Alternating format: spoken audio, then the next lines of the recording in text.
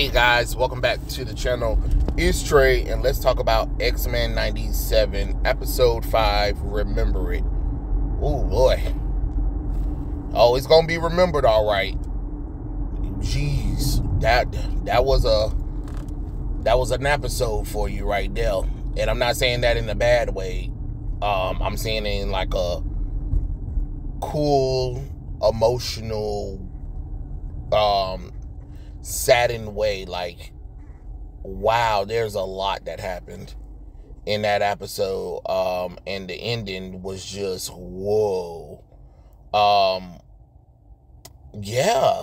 So X Men 97, episode 5, um, remember it is basically a Gambit Magneto Rogue story featuring um, Nightcrawler and a side plot of Jean Grey, madelyne Pryor, and Cyclops. you know what I'm saying? Um, but the the main focal episode, the main focus is um, Rogue, Gambit, and Magneto, and it's not one of those things, kind of like how last week's episode focused on Jubilee and then it jumped to Storm or whatever. No, all of this is tied into the plot itself. It's just kind of like, wow. You know what I mean? So the X-Men are being interviewed because, you know, now that um, Genosha is now part of the United Nations, they want to interview the X-Men and they're going through um, explaining the X-Men and um, kind of doing like a an insider edition of the X Men. Um, while Magneto and Rogue and um, Gambit gets invited to Genosha because you know Genosha is United And then of course you have Sebastian Shaw, Emma Frost, um, and of course the um, that lady I could I can't I can't believe I forgot her damn name. But anyway, um, the senator she they they they personally invited him there and Madelyne Pryor is there because you know hey you know they need somebody um that was on the X-Men team and Madelyne Pryor was on the X-Men team um and then of course we meet our lovable Nightcrawler of course. And um I love his and I love I just love Nightcrawler. I, I just love Nightcrawler. Um I'm just kind of mad that he's not a main character in X-Men um, the X Men animated series, even though it's kind of crazy because they have action figures for some of the X Men characters. And I'm just like, well, you might as well just added them to the team because you added Bishop, but then Bishop only um, only left um, three episodes in. The same thing with Storm. So wouldn't it make sense to have, you know, Nightcrawler, Archangel, Psylocke, um, Colossus, you know, those characters actually on the team because the team the team can still have the original you know what I'm saying? You can still have the original characters from the original show, but add the new ones in there because it'll be kind of cool to kind of see it. Um, but you know, um, one character I'm glad I didn't see was Morph. I I, I don't know. I, I just don't like. I, I just don't like what they did with Morph um, in this series. So anytime his ass is not on screen is a good thing for me because I just do not like this man. Um, I don't know. He just he, he just comes off annoying. Um, but hey, it is what it is. That's just my personal opinion on the situation when it comes to um when it comes to that character. But I was I was wondering when the tension between Rogue, uh, Magneto, and Gambit was going to boil over. So they kind um they they decided to talk to Magneto alone while Gambit and Rogue, along with Nightcrawler, you know, tour Genosha and stuff like that. And you get to see a lot of the mutants that are living in peace or whatever. It's really cool. It's really a futuristic um, kind of island for the mutants to kind of, you know, live in peace, which is which is pretty great, honestly. Um, and of course, there's Dazzler performing, and you see Rogue in the crowd but like Nightcrawler, Nightcrawler noticed that there's like something going on between Gambit and Rogue, and then he was like, you know, hey, you should like ask her to marry you. You clearly we can tell that your souls touch, and he was like, yeah, but you know, me and Rogue can't touch, and he was like, there's more than you know, um, you know, Nightcrawler being his himself, right? He's um he's very religious and he always bring back like religious quotes or whatever. So, you know, he's like telling Gambit, like, even if you guys can't touch, you guys are still touching because your both of your souls have intertwined with one another. So I guess Gambit decided that he's going to try to try to um, propose to Rogue. But while that's going on, we get more interviews with the X Men, and Jean is in the middle of the lake pondering her memories with with whatever is real because her and Cyclops everything's been awkward ever since then because of the notion of they've been they've been swapped they um and while that's happening there's an interview with Cyclops and he's explaining everything that happened with the X-Men and then of course they will and people want to know about him and Jean Grey because publicly they're known to have got married and they're known to have a son together. You know what I'm saying? So that kind of that kind of happens or whatever.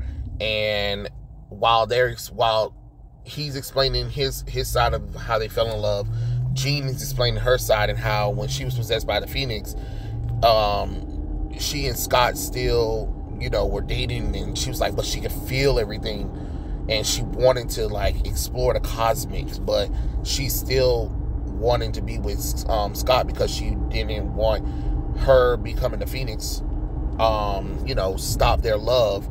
And she's like, what she know for sure is Scott was her anchor, you know. And he kind of described like how it was kind of awkward at first when she had um, became the Phoenix Force. So both of them are experiencing different, but you can tell that they both love one another. And then, of course, Wolverine comes to talk to um, Jean Grey about things. And then she was like, you know, one thing for sure is that I don't really remember, I don't know which memories are mine, but I do know that I love Cyclops. I do know I care about the X Men.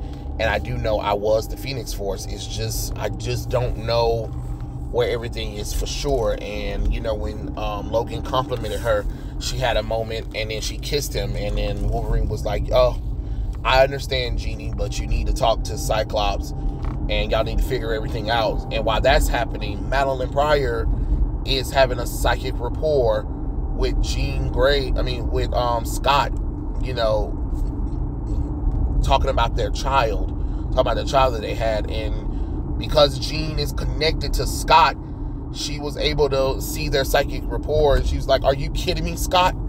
She's like that was our thing. And he and um she pushed Madelyne out of you know scott's mind. And you know it pisses her off. And the cameras kind of picked up their argument. And she was like you know it's just like do you love me or do you love that clone that i, I was you know i was you know i was Jean and you know a part of me even pulled out and you love that part of of me? And she's like well she is the mother of my child.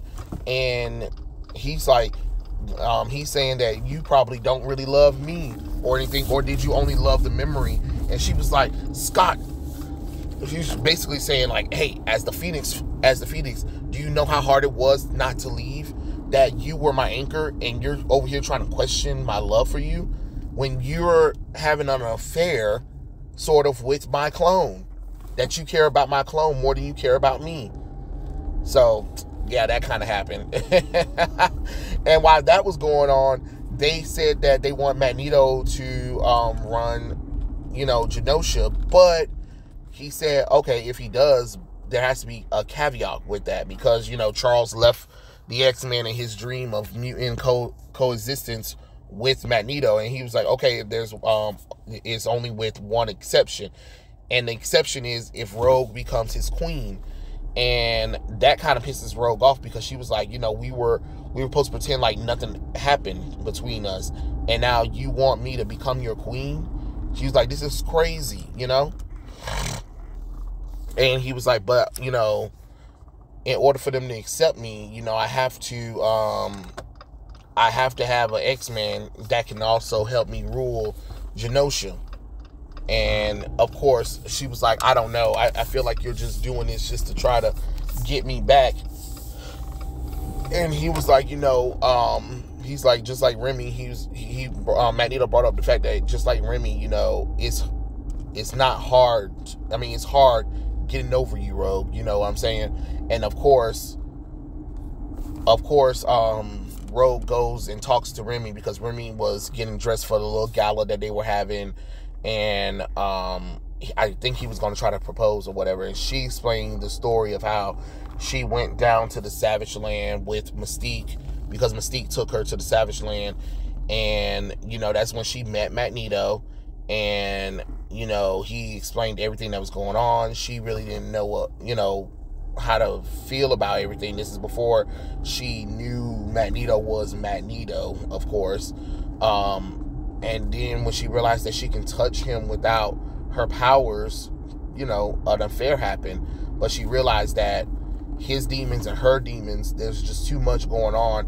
And she left, and that's when she realized that everything that was going on between um, her mother, her, and Magneto, it was just too much, and then that's when she joined the X Men. That's what that's what the story that's what the story is, is saying anyway. So you know how that goes. Um, so you know how that, you know how that is. Um, and Gambit was like, "But you should have told me a long time ago." And she was like, "She was like, you know, Remy, it's just kind of hard because I love you. Um, you know that I can't touch you, you know that I can't feel you." And he was like, "Some things you don't need to feel in order to know, Shell." And of course, they go to the gala, um, and Rogue kind of flies down in front of everybody in the dress, and she dances with Magneto because they can touch. Remy is um, feeling kind of ugh. Um, Jean's getting a psychic attack, uh, a psychic link or whatever with Madelyne as well, and then of course that happens. Um, it's like some kind of warning or whatever, but both Madelyne and Jean don't understand what the meaning is. While that's going on, um, Rogue and Magneto are performing in front of everybody, and then they kiss, and Rogue tells Magneto that she's sorry, but she was like, Remy's right, where she was going to go and find um, Gambit, um, but then Madelyne, she walks outside because, you know, she got a nosebleed from everything that happened or whatever, and we come to find out that are you kidding me? Did you let this old bitch walk across the street when the light was fucking green? God damn it. Oh. Okay, whatever. Um, anyway. So while Madelyne was trying to get it together, um, Cable comes. He's like, turn off the music, turn off the music. She's like, what, what? Because she's being a little disoriented. He was like, turn off the music. We gotta go. We gotta go. Um, you gotta stop it. And then she was like, uh, Cable? And she was like, she looked into his eyes. She was like, "It's you," and stuff like that. You survived. You made it. And he was like, he was like, "Oh God, I'm out of I'm out of time." And he was like, "I'm so sorry, mom." And then the time traveling portal took him away. And she was like, what, what, what's going on? And before she got a chance to, an explosion goes off in Genosha, and it just boom blows it. A lot of boat, and then it's like this like mechanized sentinel with three heads or whatever, and it's just it is just vaporizing people. It is killing mutants left and right. It is it is a massacre. It is it is bad. It is bad, and I think I feel like it. I don't know if it's being. I don't know what comic it's being pulled from. I feel like it's being pulled from Grant Morrison's one where they had Cassandra Nova um, use a Sentinel to destroy um, Genosha, but I don't know. I I don't know Magneto. So um, Nightcrawler um, saves saves Magneto, Rogue, and Gambit at the last minute. Um, he's a little he's a little burnt or whatever, but he's still alive.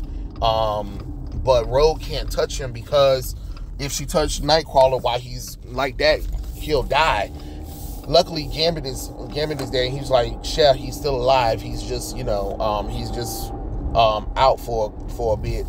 Um, Magneto and Gambit they start fighting the Sentinels. They're trying to get everybody out of there. They're trying to save the day. Um, and th- that Sentinel is just killing the fuck out of everybody. It is, it is, uh, it is bad. It is bad, it, but it's it's just like nonstop action. You know, with this one, it's just like boom, bam, bam, choosh, protect the mutants and stuff like that. Magneto's trying to use his powers or whatever to attack the Sentinels. Um, you know, Rogue and Gambit are trying to find find the Morlocks. Um, and it is just it is just crazy one after another. It's just things are just just blowing up and they're trying the team is trying their best to keep everything together, but it's just not really working. And um, in the end, you know, um, they were able to find some of the. I think Callisto, she got killed. Um, and um, Gambit was able to find the Morlocks or whatever.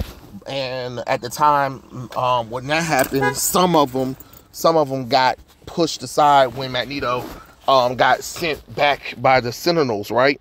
So Magneto is trying his best to to um what the hell? Okay, hold on. Ooh, Jesus. All right, hold on. Ooh. And then um Magneto and Rogue are trying their best to get everybody out. Um and the Morlocks um are finally out. But then the Sentinel is coming back and it pushed Magneto back with um into some of the Morlocks and he uses his shield he uses his Magneto shield to try to stop the laser the laser beam that's killing um them while pushing Rogue Rogue and Gambit aside where he cover he's trying to shield them. Gambit's like, don't you die. I mean not Gambit's not Rogue's like, don't you die on me, Erik, or whatever and stuff like that. But he's using his powers to lock Rogue and um, Gambit in place and shielding them from the Sentinel while um, he tells Leech um, do not be afraid. And then the Sentinel, like, uh, looks like it kills them. Then Rogue tries to come and attack the Sentinels, but she gets pushed back by Gambit. Gambit goes and he fights the Sentinel, and the Sentinel, like, literally um, stabs Gambit in the side or whatever. But Gambit uses that opportunity to charge the um, the wire that's stuck inside of him from the Sentinel, and he decides to detonate everything. And he was like, "The name's Gambit, remember it." And bam! And after all of that, um, Rogue comes and see the destruction, and she was like, "I can't feel him anymore." And the episode goes off like that. So yeah, that's how X-Men 97 ends. Remember it um, yeah, people are gonna definitely remember this episode because, ooh, that was a lot of a lot of emotions there. It was a lot of emotions there. I mean, it's a good episode, honestly, but wow, it was something. But yeah, um, X Men '97. Remember it. Do you guys remember it? Will you remember it? Did you watch it? Let me know in the comment section below. And I'll catch you guys later.